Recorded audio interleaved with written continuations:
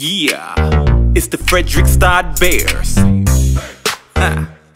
Let me talk to you. There's a new sport in town, so you better make way. I'm talking about baseball. That's the game you wanna play. You wanna play? We've been doing our thing since 08. Yeah, yeah. Now where you been? You know you kinda late. Yeah, we bringing the game straight to Norway. We having so much fun, like we on a holiday. A With the holiday. Fredrikstad Bears. Come join our team. It's as fun as it seems. Just follow your dreams. Follow your Everybody's playing soccer. Here's something new. And we got everything you need from your shirt to your shoes. If you could throw or catch a ball, we'll make a player out of you. Just have the stamina to hang and do what it do.